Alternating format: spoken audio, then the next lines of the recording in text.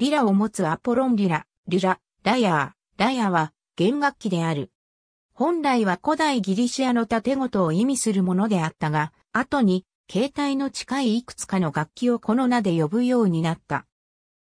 中世ヨーロッパにおいて、リラ、リラなどの名称は発言楽器のみならず、似た形状の弓で弾く、殺言楽器にも用いられるようになった。これにはフィドルから発展した一族も含まれる。一方、リラ、ライアーはハーディガーディを指すようになり、ライアーはさらに転じて手回しオルガンの意味にまでなった。また別にリラ型の枠を持った打楽器の一種でリーラを名乗るものまで現れ、しばしば混乱を招いている。古代ギリシアにおいて、朗読会はリラで伴奏された。ギリシア神話によると、リラを発明したのは若き神ヘルメースである。彼は大気の甲羅を動物の比較とアンテロープの角で覆った。リラはアポローン的中用と平成差の徳と関連づけられた。これはディオニュソス的な笛が甲骨と紅葉と対象をなすものである。この楽器の実際の起源としては南欧、西アジア、北アフリカの各地が挙げられている。リラを持つ阪神タンはリュディア帝国に接する小アジア沿岸部のアイオロス系、またはイオニア系のギリシア人植民地に見られる。また、別のギリシア人入植地であるトラケアは、オルペウス、ムーサイオス、タミウリスのような神話上のリラの名人の生まれ故郷であると信じられてきた。古代ギリシア人がエジプトの箱型弦楽器をキスサルあるいはキタラと呼んだことからわかるように、彼ら自身ギリシアの楽器との類似性に気づいていた。古代エジプト文明の前世紀は古代ギリシア文明を遡ること5世紀であり、キスサルが生まれたのもその頃であろう。かくして我々は、リラの元となる楽器が古代ギリシア文明以前に、ギリシアの近隣諸国のいずれかに存在し、そこからギリシアにもたらされたのであると推論することができる。リラは楽器の象徴で使われることがあり、欧米の軍楽隊の気象になっていることも多い。日本でも古くは、帝国陸軍の軍楽部エリ部気象、及び陸上自衛隊音楽科の職種気象になっている。また、消防音楽隊や警察音楽隊、海上保安庁音楽隊でもリラは気象になっている。リラを演奏する女性。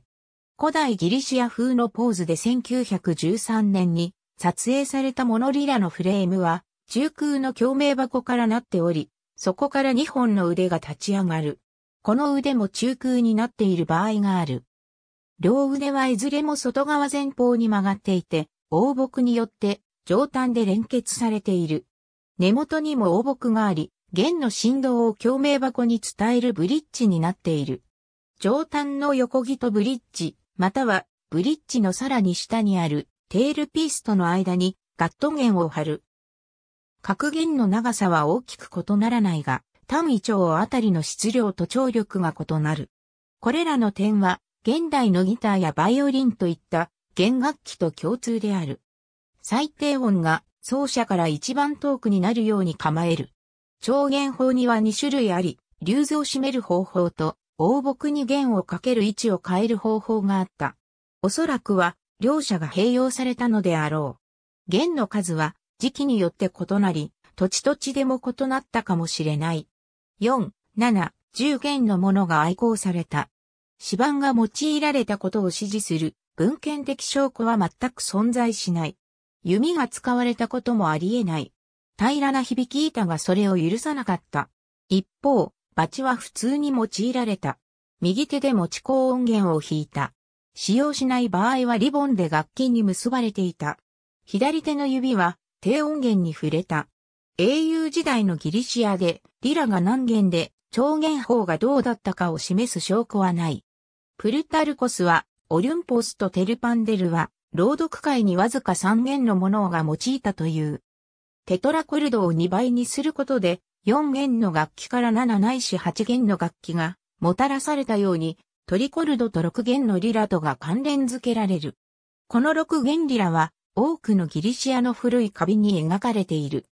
楽器の細かい部分をきちんと表現するのはいささか面倒なことである点を考えると、これが正確な描写であるとは言い切れないが、わざわざ異なった弦の数にするとも考えにくい。右手のバチで弾いた弦を左手の指で押さえる姿が常に描かれている。古代ギリシア文明が今日知られているような姿をとる前は、リラの調弦においては、幅広い自由と地域性が認められたのだろう。この点は、古くから半音階や四分音が利用されていたことによって裏付けられており、古の法上と音調を洗練していこうとするアジア的な傾向等を示すものと思われる。リラは今日でもギリシャのいくつかの地方では主要な民族楽器となっている。例えば、クレタ島や北ギリシアのポンティア人地域である。このタイプのリラは奏者の台体の上に垂直に構えられ、バイオリンと同様に弓を用いて演奏される。現代のライヤー。2018楽器フェアブース A-02 浜松市にて。この楽器は20世紀前半に音楽家であり治療教育者であったエドモンド・プラハトによって新たに生み出されたものである。この場合は一般にライヤーまたはライヤーと呼ばれる。彼がスイスにあるシュタイナー教育の治療教育の現場で働いていたことから、スイス、ドイツを中心としたシュタイナー教育の一環として用いられるようになった。現在は教育楽器として、より演奏楽器としてドイツを中心に世界中に広まっている。銅は歪んだドーナツ型をしており、その一辺から他辺へ平行に半音階に弦が張られる。弦はすべて金属弦で、ピアノの発見にあたる弦は高く、黒鍵にあたる弦は低く貼られる。右手は楽器の表から発見にあたる弦を、左手は裏からドーナツの穴にあたる部分を通して、黒鍵と一部の発見にあたる弦を演奏する。音域の異なるアルトライア、ソプラノライアなどがある。